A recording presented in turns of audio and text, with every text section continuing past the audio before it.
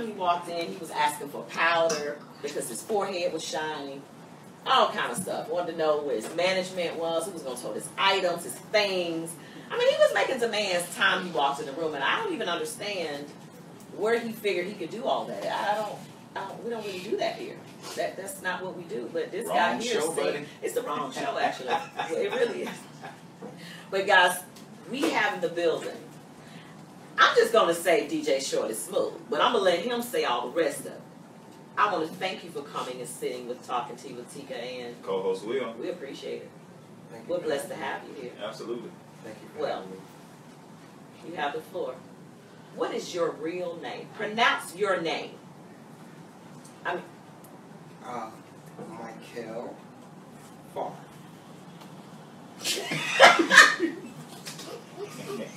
what else you wanted me to do? You want to break down the lineage of how? no, no, no, no, no, no, no. So it's Michael.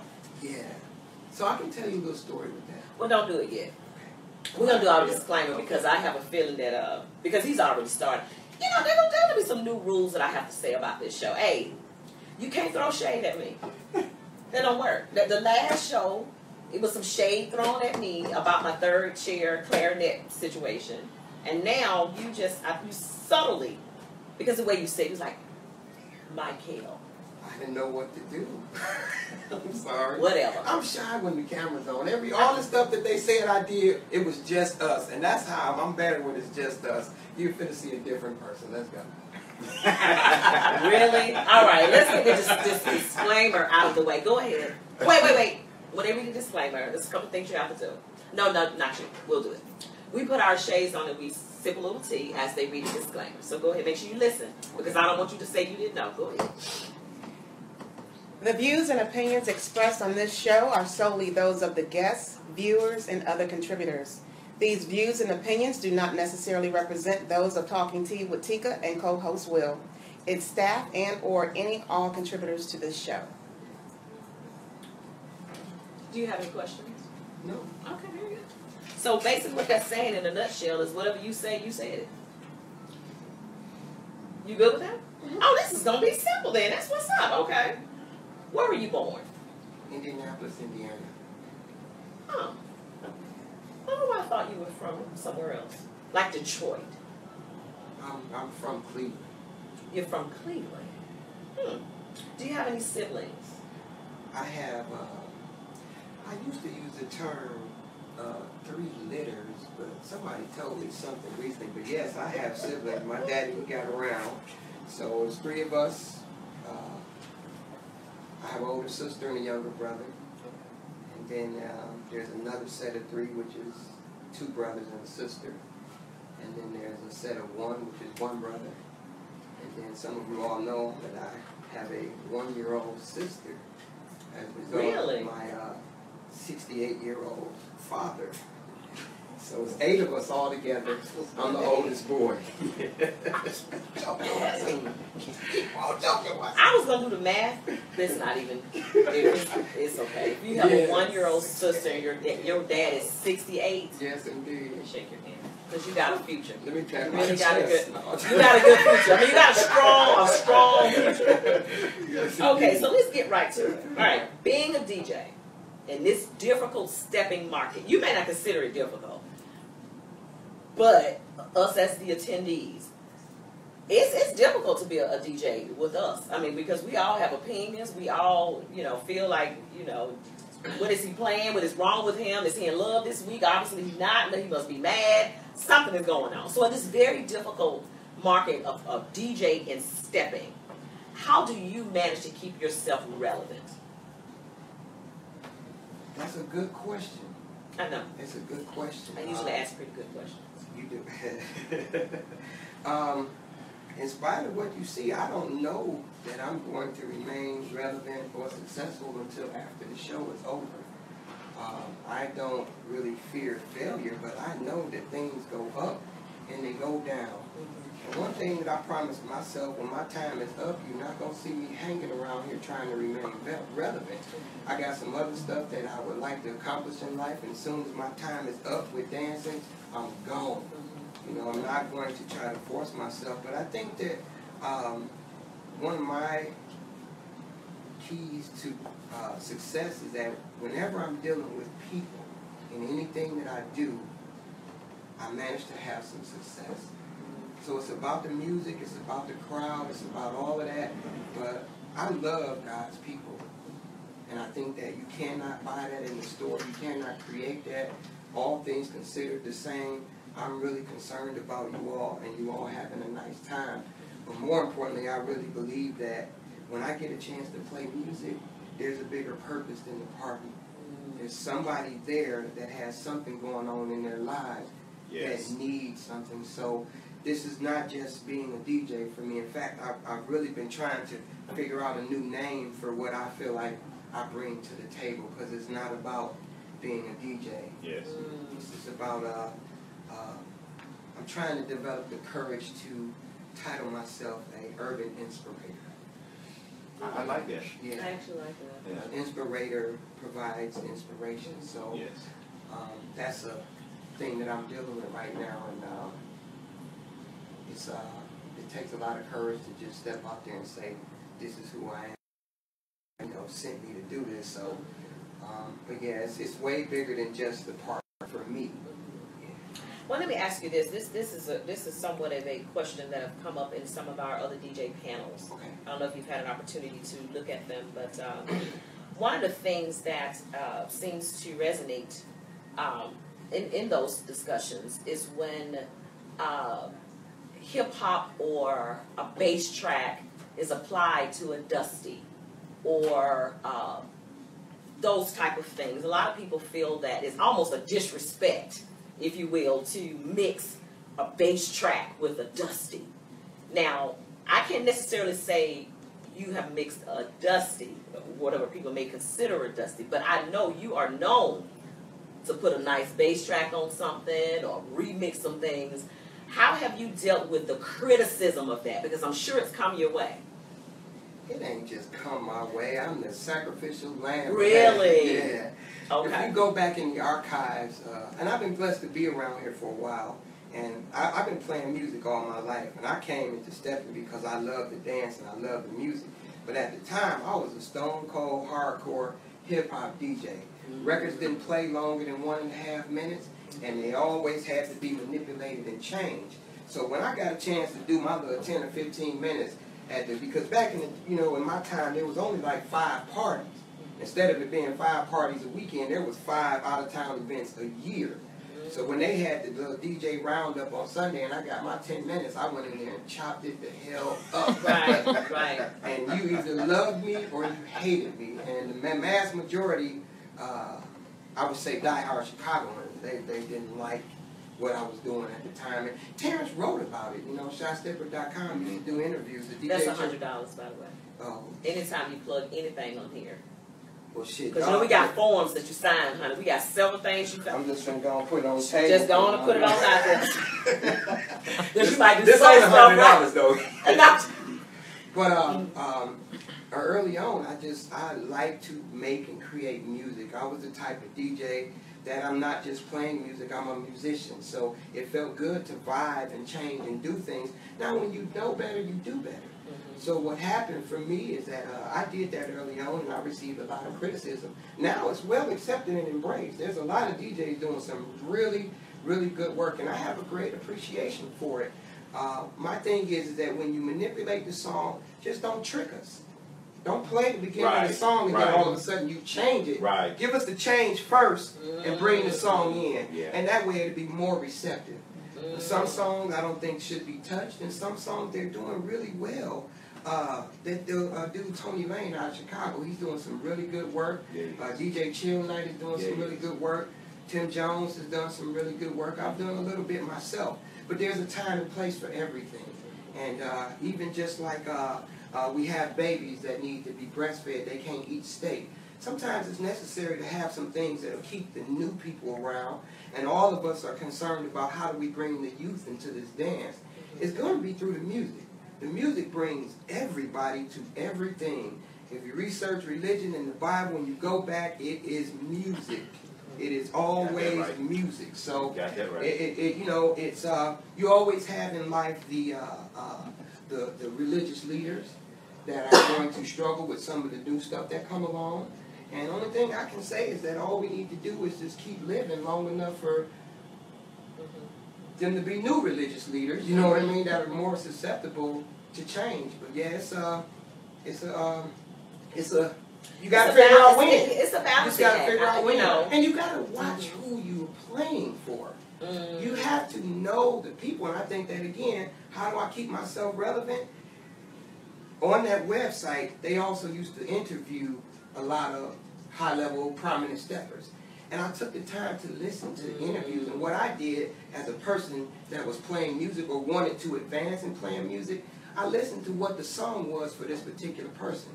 And so when they came in the party and I seen them, Mhm. I played their song. Now they not knowing that I listened, but the only thing I like is that when they rolled past the booth and I got that Negro head nod, that was a sign of success for me. Right. You know what I mean? You know, and funny you say that because you, when you think about it, I- if I'm not mistaken, I'm going to have to research this to make sure I'm correct. I believe Psalms is the biggest book in the Bible. Mm.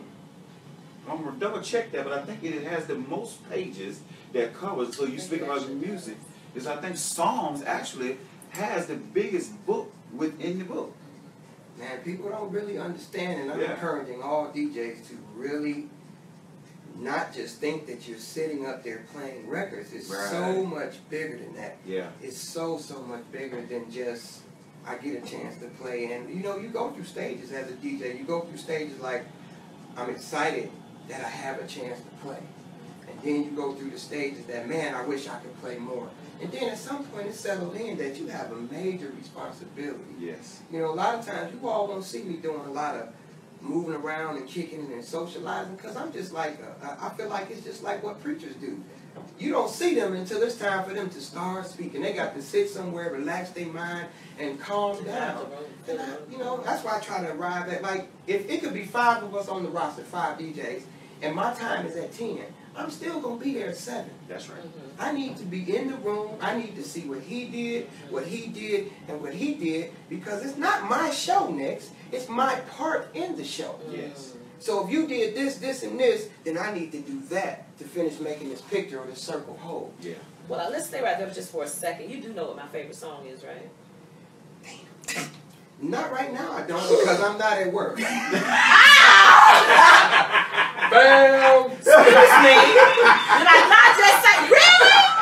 If somebody else come on this show, you know what? If somebody else come on this show and I mean, you shade at me, you, that's not shade, baby. that but gets a little know- something because you should know it. Did you look at my tapes? Did you look at my tapes like you did them other people's tapes and go back? Did you look I'm at my stuff and know what my right stuff now. Wait, wait, wait, wait, wait. Uh-uh, don't do that. Did you go back and look at my stuff Hey, and figure out Look. what my song is? I am highly disappointed. Hold on, dude. You say not looking at the tape, right? I'm not gonna say that. I mean, can we have fun? Do you know my song? Listen, so listen. I'm in the door. I ain't got to tell nobody song no more. No. Oh, whatever. Do you know? All right, man. Do you, I don't know your song. Do you know I play at uh, this big party in February? I'm in there. Oh, you know what? You know what? No. okay, well, let me So make sure you know. No, um, I don't know, but I think I play it every time you're there because you never asked me, you never requested a song from me. So I think your favorite song is already in my rotation. And that's a really good That's a real good answer, That's a really good place to be. I'm gonna really need you to know what it is.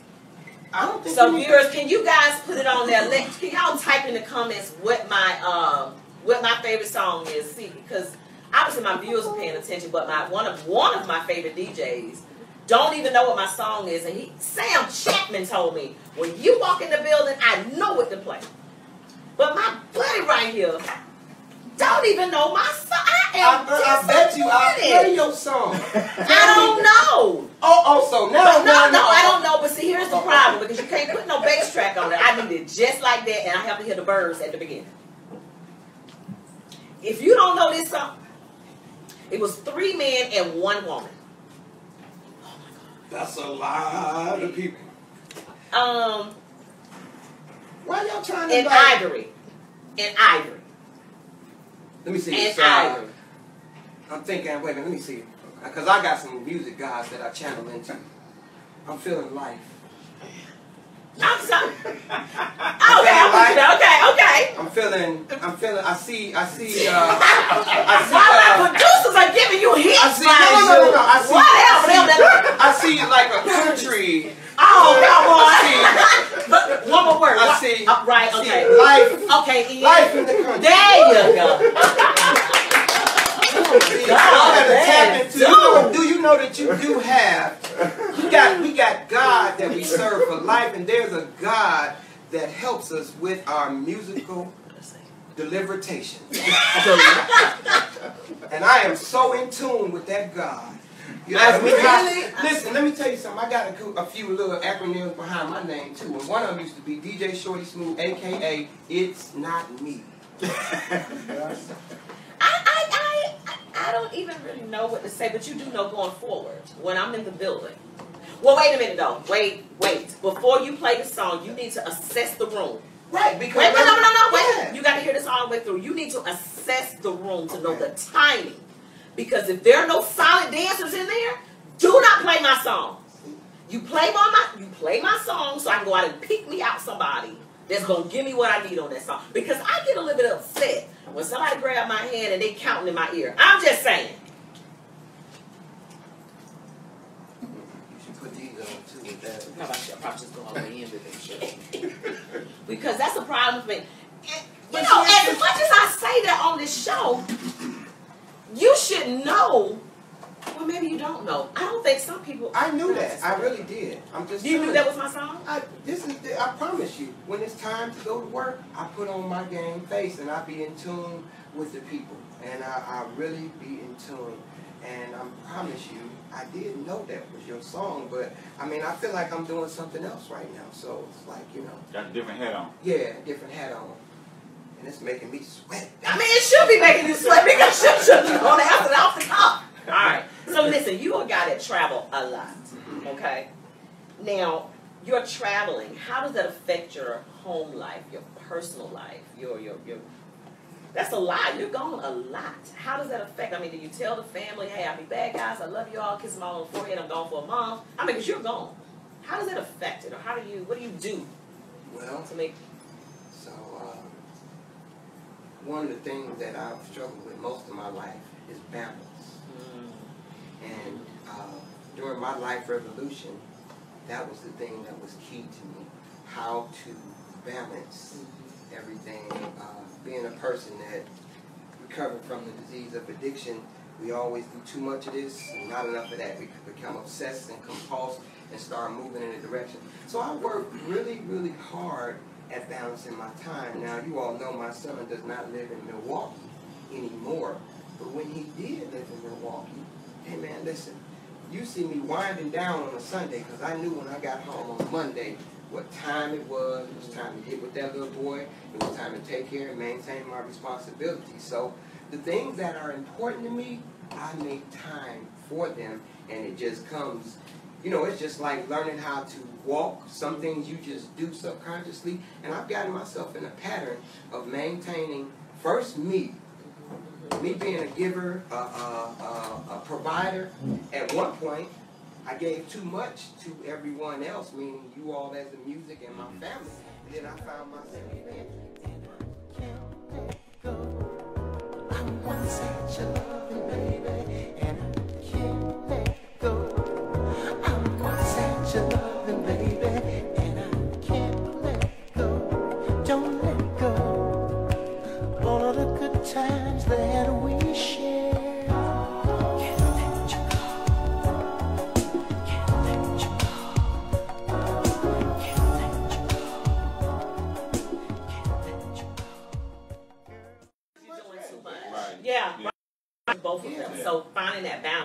really, really, really, really It's tough, but but in, in, in, in the world we live in, it, it's almost it's tough, really, to try to find that common ground. you know, to balance your life because you know, especially you being pulled different directions Man. all of the time. All. You know, and in this stepping world, you are definitely pulled. If you are relevant, you are pulled constantly. Do you ever say no to what? to some gigs? Yeah, yeah. I, I'm going to. Uh, well, here's my. I can't say that. You have a plead the fifth sign. Cause I'm going to I'm not gonna plead the fifth. I just was gonna say something that I shouldn't say. What I'm So I'll say yes. I do say no. And sometimes my calendar just says no for me. hmm One. Oh, you you keep your own calendar? Yeah, yeah. I have a calendar. Uh, You don't have an assistant to keep your calendar? Sometimes I do, sometimes I don't. Sometimes, you know, I get somebody to help me. One of the things I try to do is be like fully self-sufficient, you know what I mean? So, uh, but yeah, uh, every now and then I have to, like I fell behind on my calendar with all the stuff that went on last year with my mom, Deontay, and all of this. I fell behind and uh, I found myself double booked on several occasions. Oh, wow. Yeah, so I had to uh, pick and choose. I can't get one shameless plug, no? What? You have money, so here's money. I won't do it. I'll wait. But uh, No, you're fine. Yeah, well, I just wanted to send a shout out to Robert and Tanya uh, out in Victorville, California. Their event is like the weekend of March 16th and 17th, and uh, two years in a row I couldn't make it. My mother passed last year, and this year I made a mistake and got double booked, and so uh, I'm not going to be up. But I just wanted to send them my love and send uh, some support their way, and I appreciate them having me back in 2018, and I'm going to definitely make it. Just That's a res- that's a respectful. Yeah. I, I I can definitely let you plug that. Yeah, just, just out of that's respect. two, I like two that. years in a row that I couldn't make it, and like this year, uh, I'm doing a wedding, and the, the evaluation was, you know, you hopefully you only have one wedding, but the stepper said it'll be back again next year. all the line stuff like yeah. Okay, let me ask you, how many children do you have? I have two, Two litters? no, two boys, two boys. Okay. If I could go back and do it, man, I would have had like five or six kids. Knowing what I know now Really? about my, uh, I just feel like that I should have contaminated the world a little bit harder with my children. man. Oh my God. And then just as much as I beautiful. enjoy and embrace, you know, I look at both of my boys and I be like, dang, man, y'all.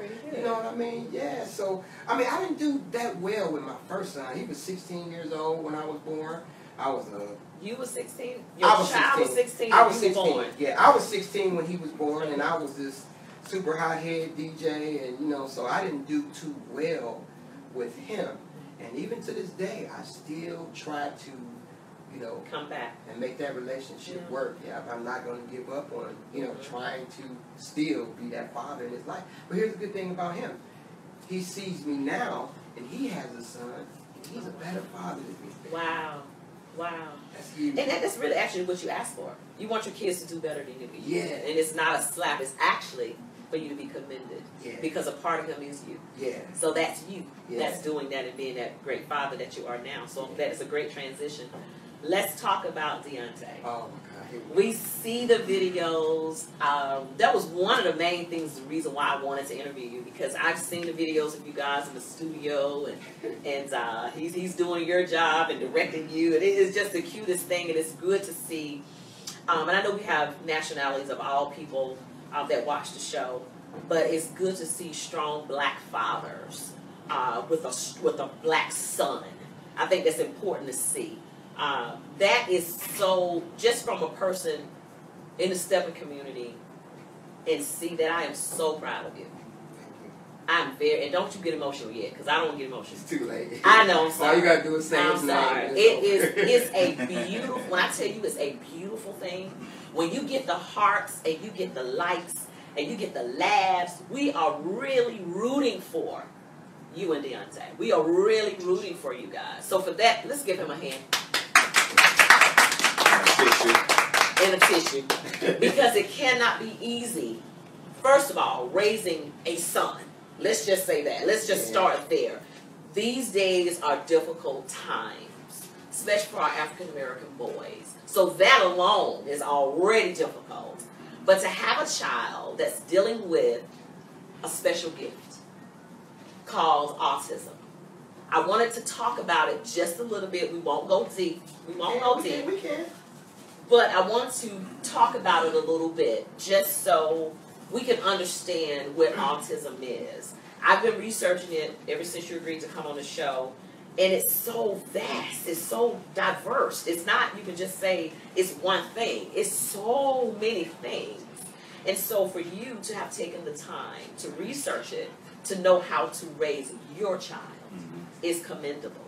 Yeah. So, let us kind of walk us through a day, Well, a before, Deontay day. before I do that, uh, let me say this. I appreciate you all and all the comments and things about me being a father.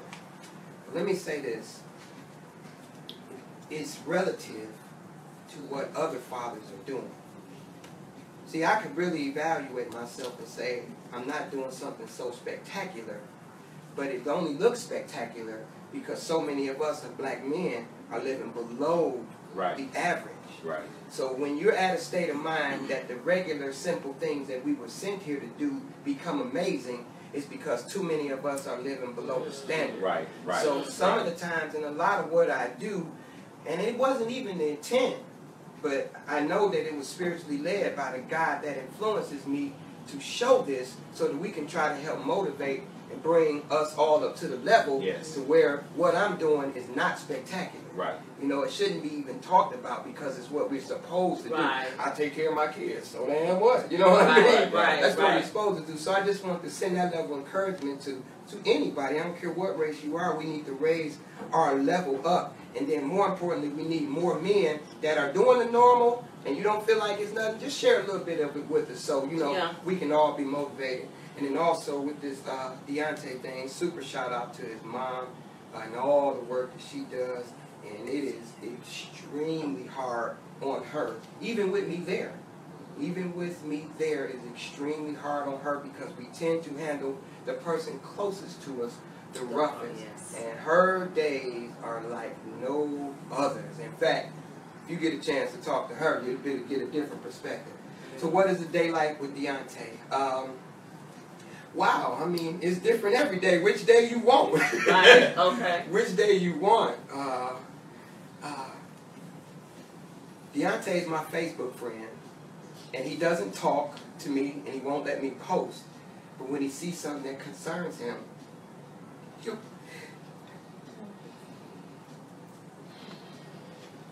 he's so funny too, right? Y'all know I did the eye exam, and he cusses. Can I cuss on your show? Well, we'll call Deontay and ask him. Deontay, Deontay called me. Said, we don't have a beep yet. He said, "Damn, Dad, what the hell is wrong with your eyes?" you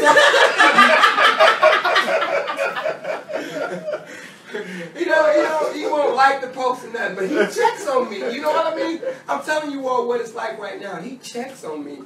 I could be, you know, one of the things I like to do when I go to cities is go eat. They would call me like, man, you know, you out there eating and I'm not with you. Because that's what we did when he was in town. That was one of the things we, we wanted to eat. But what is it like with Deontay? You have to have a routine. In the morning, we're getting him ready for school, getting him ready for work. It all has to go the same. And it's crazy because he's getting so smart and intelligent.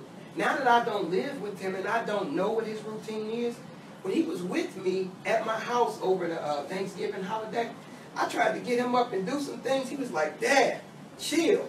This is not my routine. and like, you know, I think he kind of got a little manipulative ways in him. Like he used that, like, slow down, Dad. This is not my routine. So I, I mean, every day can be different. Every day can be different with the things that he says out of his mouth. He called me yesterday. He said, "Okay, Dad, you all right? I seen that there was a terrorist attack on the airport that you was at." And then he mentioned to me how he felt like that things were about to change for me traveling. Yeah, he said, you know what, Dad? Now the security is going to get tight. Not with only you getting on the plane, but with you getting off too. Look, you little smart dude, you. Right. But Deontay not only suffers from uh, autism, he has a chronic case of Crohn's disease. And uh, by the grace of God, this period right here, the past year, 12 months, is the longest time he's went without being hospitalized. So you imagine a kid with a neurological disorder and a fear of injections having to have injections to live. So we, once we developed his Crohn's disease, we used to have to go to the infusion clinic for him to get a treatment. And um, it would take almost anywhere from one to three hours just to get the needle in his arm. And there was days where the needle wouldn't go in his arm. And now I can't, and sometimes as a man, you want to sit your butt down and take this. Yeah, yeah, yeah. That doesn't work. Right. And you try everything you possibly can. And one thing about my son is that he'll get honest with me when he's struggling. So we will leave the hospital. I'm heartbroken because he didn't get his treatment, and I know that we're gonna have to wait till he gets so sick that he gotta go to the emergency room. And he'll say, he's like, Dad, I am so sorry, but I can't get my mind to let me do it. You know what I mean? When he got to that point where he could say, Dad, can we leave here? This is beginning to be too much.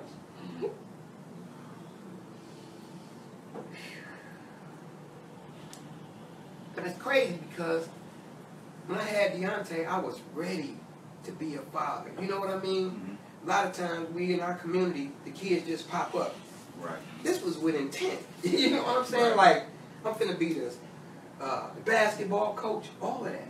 And my son has all these disabilities and all He said, why. God, why would you give me such a big task? Why not me though? Why not? Why not me? And this is one of the things, reasons why I put so much passion into what I do with music. Because it's it's you all's it's you all support that allowed me to have a free time. I'm gonna get this together. No, It's you all support that allows me to have a life that when I leave here, I can go straight to see my son. You know what I mean? Right. I've been blessed that I can pay bills at my house. I can help him and his mother and still be free to be able to support and do things, you know, for my family. Yeah. So on that autism thing, y'all gonna have to ask me some specific questions because I can, I got so many different stories and things. Yeah, I, I know the one you posted on Facebook. He said to his mom, and I can't remember what he said to her. man, when I saw that man, I man, I just, it was something that she said, and he looked, she, he looked at her and he cursed, and he said, because he said, well, damn, it's you in somebody's stepping world. And he said, man, when I tell you, man, I was absolutely floored, and I, man, I sat there, and I tell you, I laughed for him because it was like I could read. At that point when he posted it, man, I sat there and I was at work. So I'm learning now when I see Short a post of it, it said Deontay, I said, you know what, let me read Let me this read it. later. Well, he's so he's so blunt and honest, and we Yeah. were we were at uh we were at Make a Wish by the grace of God. He was granted you know five days in uh, Orlando, Florida, Disney World, and uh, you know with his Deontay can be really excited about doing something, but when it comes down to it, and he has this neurological overload, it's anxiety. So we're there for five days. He didn't start having fun until like the third day. It was almost time to go home before we were in the swing of things. But we were riding, and uh, him and his mom, well, they always had these little arguments. And uh, she said to him, uh, um, uh, I ain't gonna do this or I ain't gonna do that. He said, What?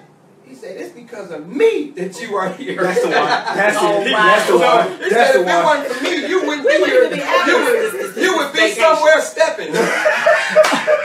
That's the one he said. That's the one you posted. Yeah, Oh, so, man. so he's real, he's real blunt like that. He's real, real blunt. Yeah. Like How do you manage to keep the patience that has to obviously be needed? Well, you, you know, I haven't always had it. Uh, I've punished him. I've whooped him. I've had physical altercations with him in attempting to make him do or change some things. But what happens is the heartbreak that after he comes to me and says, Dad, I am so sorry. When it's happening, he can't help himself. Mhm. But when it's over with and it calms down, he apologizes. So now, you know, you can't do confrontation with a child with autism. It's Mhm. not going to work. You and the thing that one thing I'm in his heart. He loves me to death. So you know what I do? I play the uh, okay, it's cool. That's how you gonna treat me. So I, I use that, and then he it hurts him for me to be hurt. Right. You know, so he'll come in. You mentioned, I know, just in conversation last night, and I know we have to get ready to wrap it up. And this, this, I just want to just go get in the bed and just ball up. I'm just gonna be honest. I mean, this. Um, you had mentioned that um, one of the things that you do with him is you hug him. Yeah. Well, now he hugs me. Uh, when you have uh, autism, uh, ASD, uh, you're very sensitive to touch. Like one of the things that I used to punch him for, I get him dressed, and he take his socks off. And I make him put his socks back on, take his socks off. Then I whoop him, make him put his socks back on. But after learning and studying uh, the autism spectrum, it's a sensory disorder. So some things that they hear or see are escalated in their minds. Like we go to the movies, he wears earmuffs. Mm. He has to have It's earmuffs on. Yeah, so I used to make him put these socks on. It turns out that when he wears socks, it feels like pins are sticking. Well, they actually do. Yeah. No, but I'm saying literally, it feels Right. like pins are sticking. to him. So Deontay was very sensitive to touch, and at some point, something came in his mind that men don't touch each other. Mm. So I tried to touch him. He'd like, uh-uh, Dad. Stop that, Dad. Stop that, Dad. So there's a lady named Temple Grandin, and uh, she's very prolific in autism, and she's done some, like, Pulitzer Prize and Nobel Peace Prize types things. You guys should look her up. But when she was in college, she would have these sensory overloads, and she built this wood machine that she would get in, and it would squeeze her body. And she used the same thing to utilize the dairy industry and the meat industry when they get ready to uh, sacrifice uh, cows. If you if their nervous system is too high when you kill them, it contaminates the meat or something. But she figured out a way to calm them down. But anyway, she built this machine, and when she would get in the machine, it would squeeze her and it would calm her down. They actually kicked her out of college for perversion for it. But after we seen the movie, when Deontay would have these sensory overloads, I would say, "Come here, Tay, let me give you the squeeze machine." And I hug him, and I calm him down, and then he'd be like, "Give me a hug," you know. So it's certain things that he knows that calm him down. Like this is the killer part right here. It's amazing how his face was built over a donut. We go every now and then and treat ourselves to these maple frosted Persians at the speedway in our neighborhood. And there's a certain part of the day after school they're not supposed to have them because they're gone. So, you know, I try to talk about God, but not so much that it scares him. So one time he prayed that the donuts would be there, right? And we went inside and the donuts was there. And he cussed, he said, damn, Dad, God really heard that? and ever since then, he could be having a sensory overload. And he'd say, Dad, can you talk to God Oh, wow. and t- to help him take care of this for me? Wow. And he believes that when I talk to God on his behalf, Mm. it's going to go away. Wow. So, yeah, Amazing. yeah. Amazing. It's, you know, it's, it's amazing how kids can be so in touch. Man, listen. This dude right here, Man, that's awesome right there. That is awesome there. Wow. I, I, I, I am, um, thank you, thank you. Yeah. thank you. Thank you all for shaking up my day. No problem. But No, no, it's the fact see, that you a lot would be of people so that- pure and so raw. Yeah. It, it's, it's, I'm, I'm, I'm honored A lot of that people you know your story. that. See, No. hey, see, I, I know you. Have Been talking to you for years, but I didn't know your story like that. Yeah, a lot of people don't know your story. They just see Shorty. He gonna play some good music. We have a good And time. you jumping around and, jumping acting silly and crazy, but but, you then- don't know What what you do? We don't know have to deal when you walk away from there. We don't know those. You know, we don't know. And I I think this is gonna be definitely eye opening for the community. You know, when they see you now, they're like, you know what? They might want to just come and give you a hug. Oh, you know, because they don't know. And, and it goes back to what I talked to you before, and I made a statement. I said we have to be very careful on how we treat people in this community at, at large, because go. we don't know. That's why Oh you know when I you don't know mentioned what going myself, we don't to. know. We I said you guys when we first talked a long time ago. I said you know we can't get caught about who does this, who don't do whatever. We don't matter. It's the fact that we don't know what it took for a person to get to that event, and and it could have been just that moment that they got there that their life was saved. mhm. You know, we talked about that Yeah. before, and then, then hear your story. God, I man. look at you totally different. I mean, Yeah. I, I'm not telling you totally Yes, different. you know. And it's not a pity, not No, a pity no, party. I don't feel not. sorry for you. No. It's almost like I am impressed by you. Yes. Just I'm, I'm honored, first of all, Yes. to dance Right. off of your stuff. The things that you Right. no seriously. No. The music that you decide to play because I know you give it thought. And I know it takes a lot for you to leave your son, put your clothes on, pack your bags, and leave Every to weekend. come and make sure we have fun. Every weekend. And you got a baby at home Yeah. that has a daily struggle. Yes. And to see you all the time like a little jelly, a little jumping bean. Yeah. Man, let me tell you something. My cell, okay, I dropped my cell phone and it's cracked up. It's still cracked up in 2017. It's still cracked up, waiting on the budget. I had a fit. I had a fit about my phone cracking up. You have to deal with this every day, and you seem to be able to pull it together. I need to get my life. Yeah. I really need to get my life and refocus on what's important. And what's important is supporting you and Deontay through this fight. And I think I'm I think I'm can join with all of the other steppers that are watching and say, We got you, boo. Oh yeah. We got you. Y'all make it happen, I'm telling you. Oh, Let me oh, yeah. get some hearts and make sure we got we got this dude. We got him and Deontay. Deontay needs to start making some appearances. I, I really think So- needs to start making some That's appearances. coming. That's Okay. coming. That is going to happen. The thing, the reason why in the past is because I could deal with the autism traveling, but when his digestive system through the Crohn's disease, that's hard. Alright. You know, he had an ostomy bag and everything that he had to deal with. Okay. So, but now that he's healthy, oh, we rolling. We rolling, and in fact, we're we're making plans right now for him to make an appearance at that big party in Atlanta in February. You know what? and where's that big party? at? Where is it? Where is it? Is it what city is it in? You asked me a question. I am asking you a question. I can say it. That big party in February in Atlanta. they celebrate 10 years. By the way, and hopefully we'll see you guys there at the big party. Yeah. But at any rate, it's been an honor. yeah. We appreciate you for coming. I appreciate you all having me. Um, we, uh, God is good. I think He saved my life so I can tell my story. But one thing you guys don't know is how my biggest fight in life was uh, overcoming self-esteem issues, and um, I'm still very shy and very insecure at times. And so, uh, for you to come and ask me the questions made it easy for me to be able to go ahead and talk about it. Right. Yeah. That's good stuff, man. Yeah. If they were going to name a book about you, I'm going to. We're going to do the book after the recovery. After Deontay has uh, lived a healthy life and God has healed him. I mean, he is man. He's got his own family. He's doing his thing. What would be the name of your book? Oh my God. So, um, at one point, the book was going to be called No Self Esteem. No self esteem. N O or No. Zero. Not low. Zero. No self esteem, no self worth. Which that's still going to happen. In fact, there's a lady that lives here in the city. She's a psychologist, a very young girl, and she's a doctor of psychology. And she works with people that are dealing with substance abuse and criminal activity.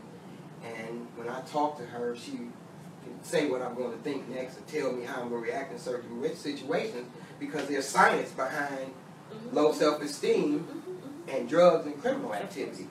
But then I, I think it's got to be more so about the. Uh, I kind of look at myself as a, uh, a a Navy SEAL or a special operations person when it comes to dealing with life. So it's gonna have something to do with this cold hard, this uh, covert ninja guy that faced everyday life situations in a tactical, let me attack this stuff type manner. I like it. Overcoming obstacles. I don't know shit. Let's Oh. just write the book and y'all tell the title. I like it. I like it. Yeah. Thank you so much. Thank you let's so give much, him let's yeah. give him a hand, y'all. And now this hand is for Deontay. We can't leave his mama out. Oh Let's yeah, go. it's on. Yes, definitely. We appreciate Yes. it. Well, I I'm full. I'm just gonna be honest. I, I haven't had breakfast, but I'm full. I'm full of. I'm full. I'm just full. I, I want to go around and hug everybody today. I think I just want to just spread love and smile and, and speak to somebody I've never spoken to before and just give them a word of encouragement. I want to say this real quick before we go. We actually before I was devastated. Let me say this: I traveled for the first time by myself, and I did pretty well. There were some hiccups, but I I'm here. All right. But when I got there, I heard someone crying, just in the you can just kind of hear a hum in the room, and then we're at the baggage claim, and I didn't know where it was coming from. And so I'm already nervous because I'm trying to figure out am I gonna miss my bag? Will the bag come back around the thing again? There was a lot going on. But I, I hear this cry, and then I look around and I see a young lady crying. Went over to her. That's just me, my nature. And she was crying, and I was just rubbing. I was like, "What's wrong?" And she was like, uh, "My mom just died this morning." And I, I was, I couldn't do anything but embrace her. I didn't even know her. And I sat there, she's got tears all over my shirt. I mean, I don't even know this woman. But she sat there and she rubbed and she rocked. She started to rock. You know, when I was hugging her. And we I we embraced maybe two, three minutes. And she looked at me and she said, You have no idea what you just did. Thank you so much. Didn't even know her. She got her stuff and she left. I got my bags and got a Uber.